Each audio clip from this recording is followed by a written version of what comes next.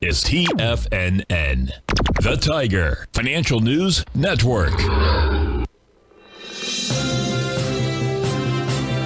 TFNN Headline News Update. Good morning, everyone. This is the Tiger Financial News Network, 10 o'clock. Tiger, Tiger Financial News Network update, market update. And it is the 7th, the Friday, October. Whew, that was quite a couple of days going up and quite a couple of days coming down. We're down 456 in the Dow, 29,470. Basically filling that gap. Tuesday's gap up. Look at the S&P. filled in the gap, down 77 at 3667. Look at the QQQ index 100. Fill the gap, down 7 at 272.17. Look at the IWM.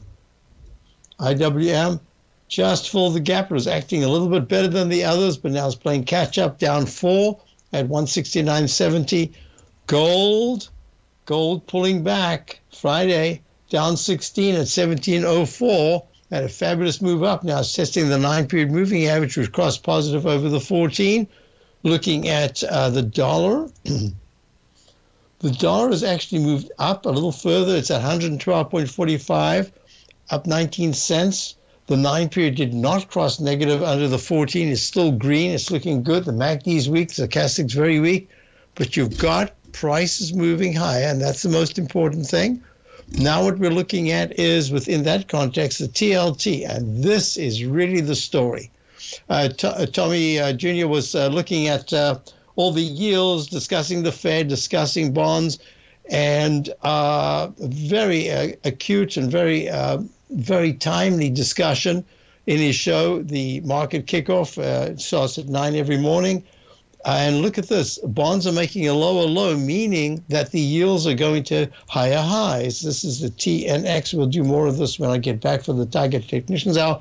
Nope, the yield is not broken to a new high. We're going to be watching this closely at 38.98, 3.898% on the 10 year.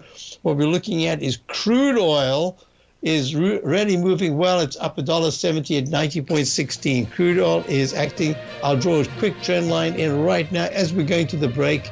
Basil Chapman, Tiger Technicians Hour coming up straight after this.